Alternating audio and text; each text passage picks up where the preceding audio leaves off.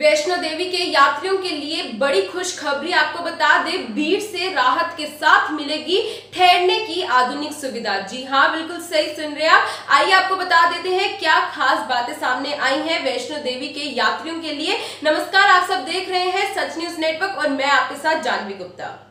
एक बड़ा अपडेट जो सामने आया है वैष्णो देवी के यात्रियों के लिए वो ये है, दरबार के पास भीड़ से राहत मिलने के साथ साथ ठहरने की आधुनिक सुविधा मिल सकेगी यात्रियों को। इसी के लिए भवन के करीब दुर्गा भवन का निर्माण किया जा रहा है। 4000 यात्रियों की क्षमता वाले इस उच्च सुविधाओं से लेस भवन पर 24.4 करोड़ की लागत आई है।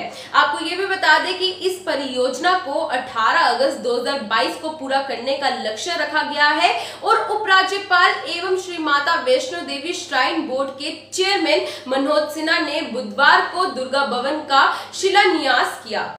और इसी के साथ ये भी बता दें कि उपराज्यपाल ने परियोजना को 12 महीने के रिकॉर्ड अवधि में पूरा करने का एक आवश्यक जनशक्ति को समय पर जुटाने के लिए बोर्ड के सीईओ और कार्यकारी एजेंसी को निर्देश दिए।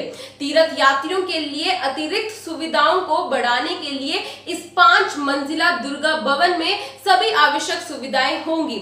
इसके अलावा क्लीन एनर्जी का उपयोग करने के लिए एजुकेट प्रोविज़न मौजूदा एसटीबी के साथ साथ लिफ्ट आदि सुविधाएँ भी प्रोवाइड की जाएँगी। और इसी के साथ उन्होंने कहा कि उन भक्तों का आभार व्यक्त करता हूँ जिन्होंने इस नेक काम में आगे बढ़कर योगदान दिया है। लगभग 6.83 करोड़ रुपए पहले ही दिन के रूप में प्राप्त जा चुके हैं और अगले दो महीनों में एक करोड़ रुपए से अधिक राशि प्राप्त होने की उम्मीद है। लास्ट मार्च में हुई बैठक में भक्तों को अधिकतम सुविधाएँ प्रदान करने के अलावा संबंधित एजेंसियों को भवन का सौंदर्य से डिज़ाइन करने के लिए निर्देश प्राप्त किए गए। पिछले एक साल में भक्तों की सुविधा के लिए प्रसाद के डाक वितरण, लाइव दर्शन के लिए मोबाइल ऐप और इसी के साथ साथ ऑनलाइन पंजीकरण आदि पर भी काम किया जा रहा है। और इसके बाद बात करें कोविड प्रोटोकॉल्स की तो इसके पालन में यात्रा के स्मूथ ऑपरेशन के लिए बोर्ड प्रबंधन के प्रयासों की सराहना की गई।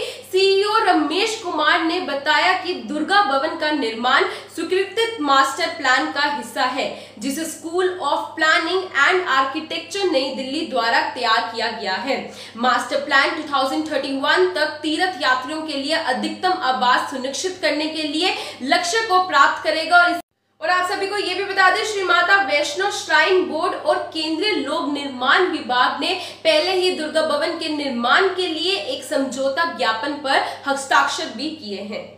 और अब बात करेंगे पिलग्रिमेज टूरिज़्म की तो आपको बता दें, इसमें डेवलपमेंट लाने के लिए सरकार ने योजनाएँ बनाई है। उपराज्यपाल मनोज सिन्हा ने कहा कि जम्मू में धार्मिक टूरिज़्म को बढ़ावा देने के लिए सरकार ने माता वैष्णो देवी पर मंडल उत्तर वाहिनी मानसर, सुरिंसर और शिव खोड़ी को एक साथ जोड़ने के अलावा एक तीर्थ टूरिज़्म का डेवलपमेंट करने की योजना बनाई है। इसमें अधिक टूरिस्टों को आकर्षित करने के लिए जम्मू के टूरिज़्म क्षमता को बढ़ाया जा रहा है। ये भी बता दें कि जेएसडब्ल्यू फाउंडेशन ने पहले ही रियासी में शिवखोड़ी विरासत स्थल के संरक्षण और बहाली के लिए एक अध्ययन किया है। जम्मू रोपेवे ने जम्मू शहर के तीन प्रमुख मंदिरों को जोड़ा है। आपको बता दें कि पीरखो महामाया मंदिर और बाहु मंदिर के रोपेवे माध्यम से आपस में जोड़ने से एक प्रमुख टूरिस्ट आकर्षण बनाया गया है।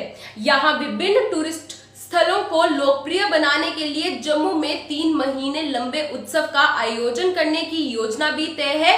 प्रसाद योजना के तहत जम्मू के परमंडल और उत्तर वाहिनी का कायाकल्प किया जा रहा है। तो ये था बड़ा अपडेट आपके सामने जम्मू शहर के पिलग्रिमेज टूरिज़्म की डेवलपमेंट से रिलेटेड इसी के साथ लाते रहेंगे और भी बड़े अपडेट्स आपके सामने। देखते रहे सच न्यूज़ नेटवर्क। जय हिंद।